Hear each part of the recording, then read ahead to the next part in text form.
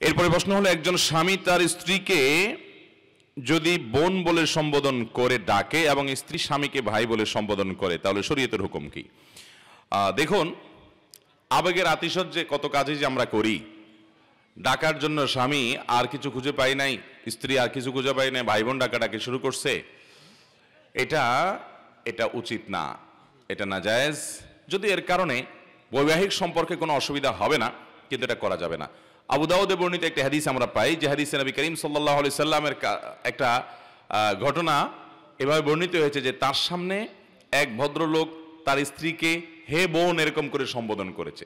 তো নবী করিম সাল্লাহ সাল্লাম বিষয়টাকে বিষয়টাকে ভালোভাবে নেন নাই। তিনি বললেন যে, এই লোকটা তোমার, এই ভদ্রমহিলা তোমার বোন? কি বলে ডাকলা তুমি? অর্থাৎ তুমি তাকে বোন কেন বললে? বোন তো হলো, তিনি যার সাথে আপনার বৈবাহিক সম্পর্ক বৈধ নয়, তিনি তো আপনার রক্ত সম্পর্কীয় মাহরাম।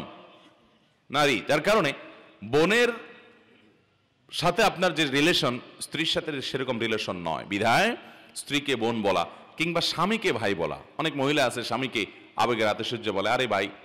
ভাই বলে, না, এরকম ভাই বলা যাবে না। যদি কেউ বলে, এর কারণে তালাক হয়ে যাবে না, বিচ্ছেদ হবে না, আবার ভুল বুঝবেন না। বড় কোনো সমস্যা হবে না, কিন্তু এরকম না বলা ভালো। এটা বলা উচিত না। অন্য কোনো কথা বলবে।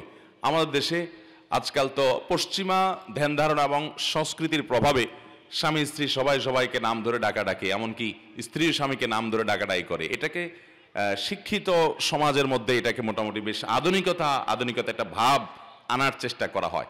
আমি প্রায়শ বলার চেষ্টা করি, দেখুন, পশ্চিমাদের গোলামি, তাদের অন্ধ অনুসরণ এবং তাদের কাছে নিজেদেরকে তুচ্ছ মনে করা, এই হীনমন্যতা খুব ভয়ঙ্কর আকার ধারণ করেছে।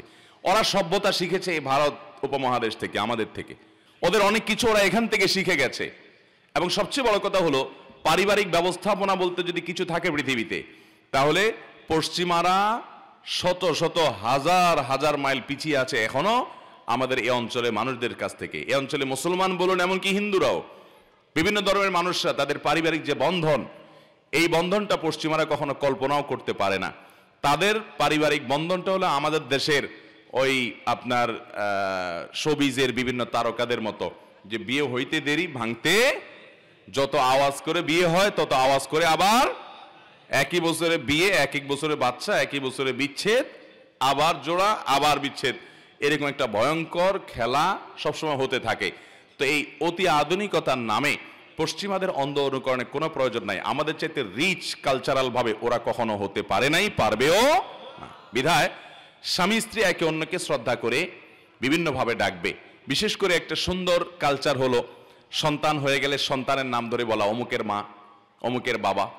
হ্যাঁ? সন্তানের নাম যদি আবদুল্লাহ হয়, তাহলে আবদুল্লাহর বাবা, আবদুল্লাহর মা বলে ডাকলে এটা সবচেয়ে শ্রদ্ধা এবং সম্মান দেখানোর একটা দারুণ উপায়। এছাড়া অন্য কোনোভাবে স্বামী তার স্ত্রীকে নাম ধরে ডাকতে পারেন। হ্যাঁ স্ত্রী স্বামীকে নাম ধরে ডাকলেও যে গুণা হয়ে যাবে বা কোনো পাপ হয়ে যাবে, ব্যাপারটা সেরকম না। বিষয় হলো যে উদ্দেশ্য কি?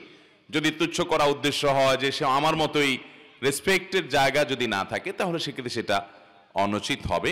বাট যদি কেউ ডাকে এবং এখানে অসম্মান উদ্দেশ্য না হয়, তাহলে সেক্ষেত্রে কোনো অসুবিধা নাই। আরবরা অনেকেই একে অন্যের নাম ধরে ডাকাডাকি করে এবং এটাকে তারা কোনো দর্শনীয় মনে করে না। এটা আসলে নির্ভর করে আমাদের আমাদের এই আঞ্চলিক যে ব্যবহার আছে, আঞ্চলিক যে প্রয়োগ আছে, আঞ্চলিক যে কালচার আছে, সেটার উপরে।